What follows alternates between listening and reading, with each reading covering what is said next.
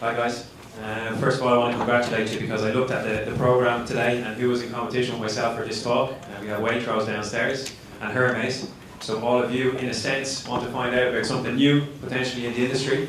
So just a quick question, um, just to get an idea of the audience. How many people amongst you are retailers? Many are involved in, in, in, in logistics carriers? And then the rest, kind of So I'm going to try and get this done in, in, in, in, in 20 minutes. Um, anybody heard of Urbantz before in the room? Okay, that's two more than last year, that's good. Um, so I'm going to try and explain what we do, why we're doing it, uh, our vision, our values, uh, in 20 minutes. Um, and then we have a stand downstairs afterwards as well, so you can get a full demo of the, of the product. My name is Byron Dunne. Uh, I'm the general manager uh, for Urbantz in, in Northern Europe. We launched the UK uh, 12 months ago now, so we're quite new here. And today I'm going to talk to you about the jaded last mile, because to be honest, every uh, piece of noise that we hear in the market, every piece of news that we hear in the market, we've heard it before, everybody's doing everything in the market, but what's not improving is the last mile, okay? Uh, so I'm here to explain to you why, if you retake control of your delivery operations, there is a chance for the last mile, okay? Um, so just to uh, give you a bit of background about Urbantz. Um, company founded in 2015 out of uh, Brussels. We're a tech company. Um, it's basically the co-founders had their own businesses in terms of logistics, physical logistics in Paris. Uh, one was an engineer involved uh, for a big logistics company uh, uh in, in Brussels, and one was an IT consultant. So they came together in 2015 and said, there's something to be done here to improve the delivery experience in the last mile for most notably grocery retailers. We delivered or we uh, processed 14 million tasks in, in 2019, a task being a delivery or a drop off. Uh, we've roughly 110 clients varying in size. We're across 10 countries now, the most uh, recent country being, being Ireland. Um, we operate core of our business out of France and the Benelux region, and we're also quite present in the Middle East. 500% growth uh, in 2018 and we're roughly 40 employees. Where we want to go this year is we're just coming out of a Series A fundraising which will enable us to grow to 80 people this year and expand into different countries, most notably the US. We have a subset of international clients, some of whom you might recognize, some of whom you might not recognize. Um, what I suggest is I'm going to go through the presentation and come back to this slide to explain exactly what we do. Okay? Um, these clients are based in those 10 countries I mentioned, and every question that everybody asks today, who do you work with in the UK, who do you work with in Ireland, the many references that you have. Finally, we have, uh, under a non-disclosure agreement, uh, our first customers in the UK and our first customer in Ireland, which we'll come back to afterwards. So to introduce Urbantz, I want to talk about urban logistics. Okay, and urban logistics, uh, depending on which department you're working on in the company, can be a real headache. Okay, um, there's multiple key stakeholders in urban logistics at the moment, and as we saw in the Stuart presentation uh, just beforehand, um, it can be quite difficult to process that, process that information internally and to put an importance on that particular um, part of the, uh, the process. Uh, usually when we hear the last mile, how much can you, how many parcels can you deliver, what's your volume, what's the margin, who are you delivering with, uh, all these type of percentages. Let's just take a look at urban population growth, for instance. In 1960, 34% of the total population lived in urban zones. In 2014, sorry, 2004, 2014, 54% of that population lived in urban zones. So in the space of 55 years, um, we've grown quite substantially in 20%. In 2030, they predict that 75% of the global population are going to live in urban zones. Okay, and that has a direct impact on your business. It has a direct impact for the carriers, it has a direct impact for retailers. Okay, because all of the habits they're currently generating, as we see in urban zones, we're going to multiply that and add 20% more people into those uh, conundrums. Okay? That has a direct impact on traffic in urban zones. Okay? So as you can see from here, 78% of the actual traffic created in urban zones is by cars. Okay? We can see that 16% of that is vans, and 5% of that is trucks. So we could say that 21% of the total traffic created in urban zones at the moment is created by something to do in relation to delivery. Okay? And that's also a figure to take into consideration uh, because with, in the advent of e-commerce, which we're going to talk about later on, that is going to grow. The cars are going to reduce, naturally, with the uh, no, low emission zones that are being put in place in um, London, in the likes of Paris at the moment. But the only way to succeed in the last mile, to get those e-commerce parcels or e-commerce cages to customers, is to increase the amount of ways of delivering that to customers, whether that be through vans, uh, trucks, and naturally bikes, because there's 1% which is missing there, which represents the bikes. So moving on to delivery. Delivery in the UK at the moment, in 2018, there was 3.5 billion parcels delivered. Okay? Year on year growth, that represents 12.4%. The average parcels delivered per person in the UK in 2018 was 53. The global average is 23. If you can imagine, based on the previous slides, that the growth in urban population is going to grow by 20% substantially by 2030, and you're already double that of the global average in terms of the amount of parcels delivered, you can only imagine the impact that that's going to have on traffic and the potential future of your roles within the company and how to manage that last mile to deliver those products. 68 billion is the number of delivery miles travelled in the UK in 2019.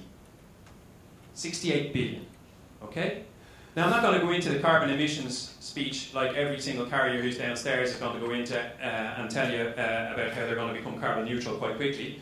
But 68 billion, if we could just assess a part of that 68 billion and get those parcels and get those delivery drivers working in a more efficient way while taking into consideration uh, what the consumer wants, well, then it's a win for everybody the retailers, the carriers, and, and the brands.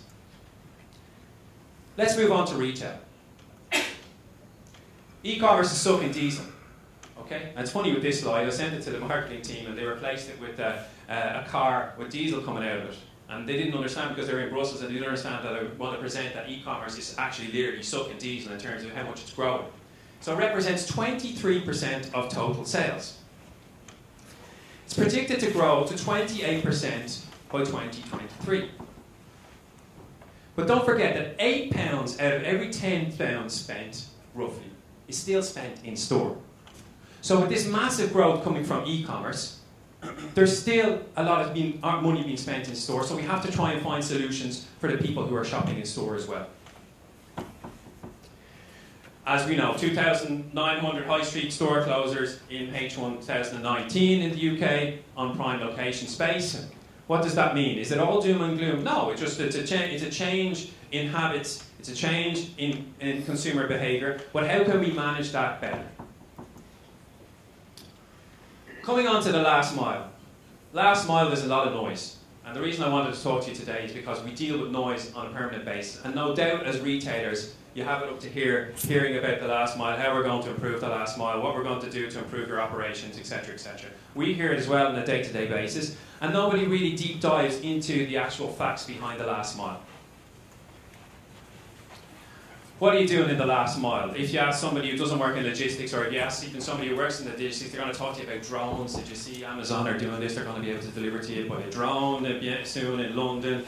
Electric vehicles, CO2, Plutos, trucks, robots, Amazon Prime, click and collect, Uberization, emissions, lockers, droids crowdsourced delivery. And look in that word mess there, how many of those are actually part of the last mile today? When do you think that one of the big retailers is going to be able to deliver your shopping by a drone into your back garden? Realistically. May come. If you read the press, you tell it's nearly tomorrow.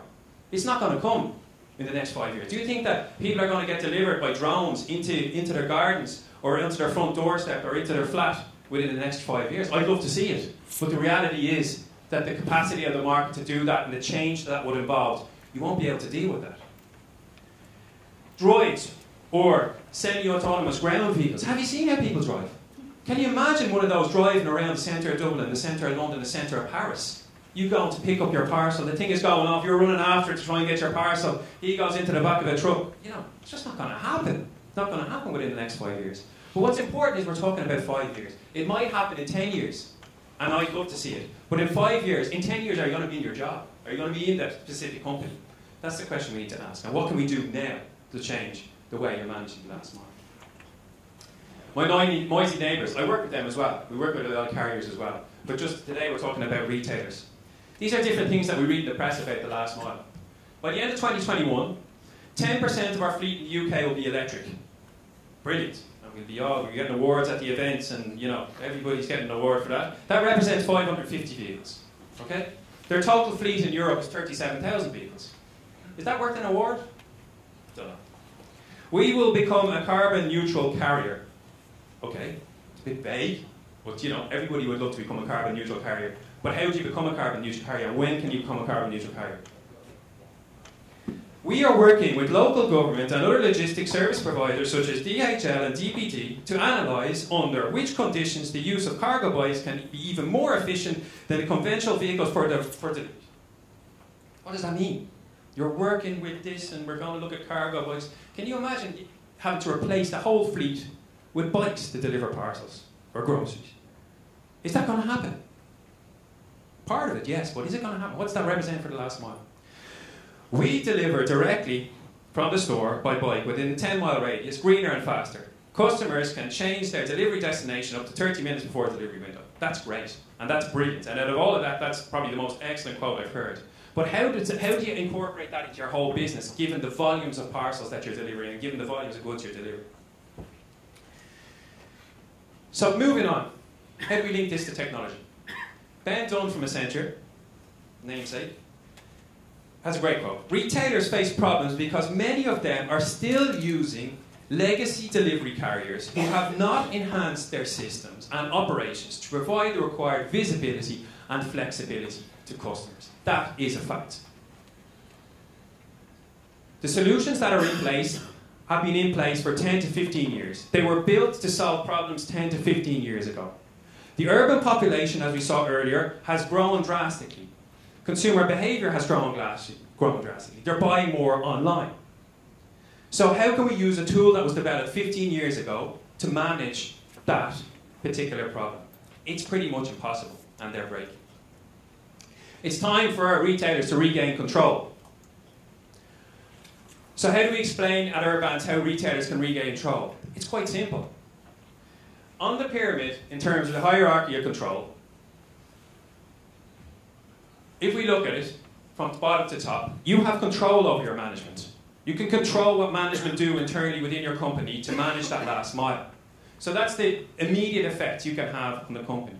You have control over drivers. A little less control over the drivers than you have over management, and depending on if you subcontract out your deliveries or not. But you have control over the drivers. It just, you just have to believe it. Your customers. You have control over your customers. You have the power to control your customers. You just have to believe it. Government. That's why it's the last one there. You have very little control over government. Okay? And we're not going to talk about government today because ourselves we have very little uh, to offer government at the moment. But that's what we come up with the last mile retail hierarchy of control. What can you control today in the last mile? Needs. Needs in the market. Solid route planning and optimization, innovation, simple technology that integrates with your current technology, centralized accurate delivery data and feeds, clean address data, digitalized paper, whether that be proof of delivery, billing, etc., improve, improve customer satisfaction, fully integrated systems with order management systems, ERPs, it's not going to be, it's not a headache, and clarity. Everybody needs clarity. I've met nobody that said to me, I don't want clarity. So we concentrate on management, driver, and customers, and this is a mix on a very macro level of what they need. What is the solution? The solution that we built, Urbantz provides retailers with all of the delivery technology needed to efficiently deliver their customers in the last mile. Tomorrow, if you put Urbantz in place, and you're capable of having that data in real time on the delivery, on the customer, on the driver, I'm sure that a lot of you would jump on it. Now, we're not going to talk about the complexities of that for the moment, but that, in a nutshell, is why we created Urbantz 2015. We have one module, and we three, sorry, three modules, and each module corresponds to one of the elements in the hierarchy of control. The first module is the back office and the brains Urbantz. So generally, the people who are in the room here today, you have access to this module. You can plan and optimize your routes.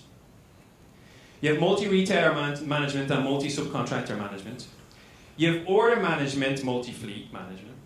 You have real-time ETAs and delay flow management. You have real-time visibility on delivery operations. You have alerts, messages, notifications, and SMS as standard. You can secure user access with administration rights depending on who you're dealing with, the, the carrier, the sender, or in fact internally. You complete delivery log management, rules and constraints management, and a learning capacity around an address book. So we're assessing the problems that we've seen in the last mile that are causing a lot of the problems and the prices to raise, that are the raising prices. That's a control tower. That data, we take data in from existing ERP system, order management systems, Metapack for example, we analyse that data with our own algorithms and whether it's an in-house fleet or an outsourced fleet, we push those rounds out to those customers. It goes well beyond just simply analysing historical traffic data. What's important for us is what the customer thinks, not how much necessary, what the customer, what the customer thinks and then in, incorporated into that is all of the economies of scale that we can gain by having that data in real time. The second module and how we're linked to the drivers, which is the second uh, part of the control, is the application. So we've developed a very simple ePod track and trace and navigation system Real-time interaction between drivers, dispatchers and customers. Can you imagine as a logistics or a supply chain or a customer success manager having access to that information real time, where Byron's parcel or shopping is at any given time? Real-time street-by-street navigation for drivers, driver automated workflows and scheduling, managing internal and subcontracted drivers as well, so that's not a blocking point, driver checklists, proof of delivery, returns management, scanning, white label solution. So your dri the driver who's working for you is going to deliver for your brand and not for the carrier. Customer experience is the third model key, key core element of the solution. We're bringing the, the customer service part it further upstream in the solution. Directly send personalized email and SMS manually or automatically. By the way, people talk downstairs, you think that that is actually the standard in the market, but if you deep dive into what they're actually doing, it's not the standard in the market at the moment. Real-time estimated times of arrival, which is key. You can give 30-minute delivery windows to your customer, and you can decide who gets 30 minutes, who gets an hour, who gets two hours, based on the size of the customer, the importance of the customer, or the customer that you, or the customer on the B2B side that you're delivering for. You have your driver approaching alerts, you have your driver wait, uh, ratings, surveys, etc., to gather that information in real time back from the customer. And you have a branded customer experience. The process that we've drawn up here gives you an example of how for a retailer that could work. Integrating the management headquarters into the optimization process at distribution centres and running out your last mile delivery, whether that be in-house fleet or subcontracted fleet, whether you're running ship from store, Urbantz gives you the capacity to run those flows. The state of play in 2020. If we just take this example of the NBA, this is the analysis of 200 shot locations between 2001 versus 2019, 2020. And I think it's quite interesting because I think it represents as well what's going on in the last mile. In 2001, 2002, obviously NBA had um, uh, they had analysis, they had stats, they had programs in place telling players, telling teams where they needed to shoot from, where the averages are, and where they're going to score from. And somebody back then told them, this is gospel. This will never change. Our solution is, our solution is telling you to do this. And then managers change from teams, players change from teams. This is how it was done there, so we need to do the same. Somewhere in that 20 year period, things changed. And now, if we look at it, somewhere, somewhere, some uh, application or some statistics have come along to say that it's better that we go for shots at three and more focus on the basket then, and get rid of the, um, the average shots that are coming in just from around the basket because we obviously have a lot more chance of scoring if we're closer to the basket and the risk analysis has been done so we can get three points from shooting outside the circle. So somebody along the way took the risk and said that yes, this is going to change. We're creating a new standard. Why can't this exist in the last mile for retailers? Why can't retailers regain control? Why can't retailers start running their own delivery operations? If the customer experience is gospel, why can't they start saying, okay, we're going to change the way we're operating. Okay, we've done this for 20 years. This is the way that it's been done. How can we change this in 2020 to score more points? Couple of takeaways. Act now to regain control of the last mile. Software can help, but it's only one ingredient in the mix. Okay? You will be left behind if you don't act now. Shippers do not represent your brand. Don't expect them to deliver a branded experience. They do a lot of marketing noise for their brand, not yours. Customers are shipper agnostic. They don't care who delivers their parcel, as long as it's delivered cheaply, on time, and it's completely frictionless. Talk to Urbantz. We're downstairs. We're trying to change the way uh, retailers are operating their last mile. Uh, stand 34, and I'll be delighted to run you through a demo uh, to show you exactly what I'm talking about in practice. Thank you very much.